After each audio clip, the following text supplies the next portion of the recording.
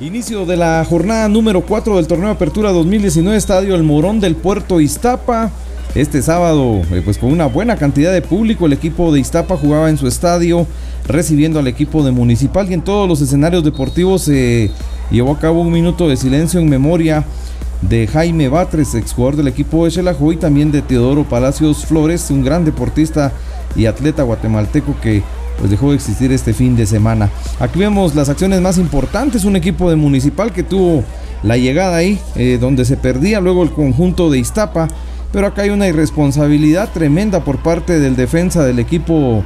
de Municipal y tarjeta de amonestación al final para eh, lo que era ahí la llegada tardía de Carlos Gallardo al minuto 26 y el árbitro central decretaba el punto penal, el caso de Luis Miranda, para que viniera la primera anotación en este partido a través de Sergio Blancas, el mexicano, y desde el punto penal ponía la pelota en el fondo de la portería y Nicolás Hagen sin ninguna posibilidad eh, para poder evitar ahí esa anotación en la apertura del marcador para el conjunto del puerto Iztapa, dirigido por un técnico nacional, el caso de Albertico Salguero. Luego pues hizo presente la lluvia, esto incomodó un poco el partido en cuanto al desarrollo, eh, pues se refrescó el ambiente, eso sí, pero se complicaba el terreno de las acciones. Acá en esta jugada de triangulación, muy buena por cierto, por parte del equipo de Municipal, viene el mexicano Toniel Arce Jaramillo al 41 y es que antes de irse al descanso se ponía la paridad en el marcador y era así como entonces se iban a ir al descanso con el empate a uno, un equipo del Puerto Iztapa que tenía la necesidad de poder sumar de a tres jugando en su estadio. Ha ido dejando puntos el equipo de Iztapa en las tres jornadas que se habían desarrollado. Venía de haber perdido con el equipo de Xelajú y recién iniciada la segunda parte, este testarazo de Ramiro Roca que tuvo doblete en el partido y fue la figura para este conjunto de los peces vela del Puerto Iztapa. Vean ahí cómo va a poner la pelota para que el guardameta ante la estirada únicamente le dé la mirada y la vista porque la pelota se iba al fondo de la portería para el 2 a 1 y nuevamente el equipo del Puerto Iztapa se ponía arriba en el marcador. Más eh, jugadas del conjunto del Puerto Iztapa en esta llegada acá a través de Sergio Blancas, el disparo, seguía ahí la posibilidad y bueno, al final pues es Hagen el que se queda con la pelota tras el disparo que se daba ahí a través de Kevin Santamaría. Acá vemos más acciones del partido, pelota que se pierde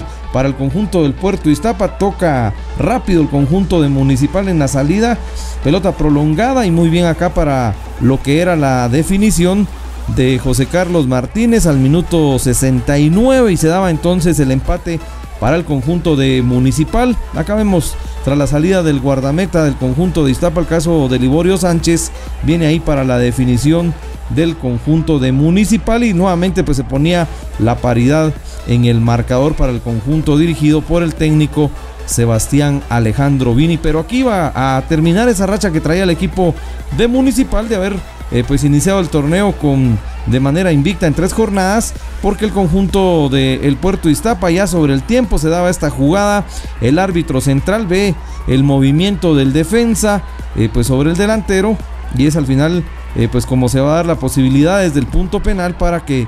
pues al final venga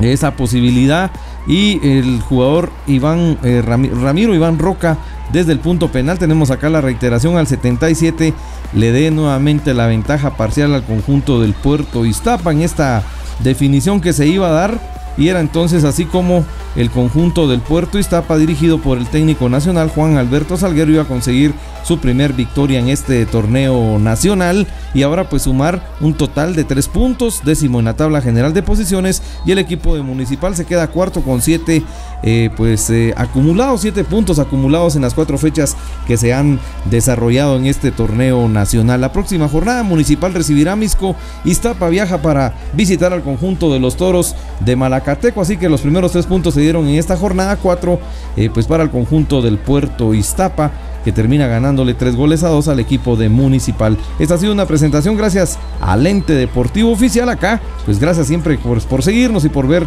los resúmenes.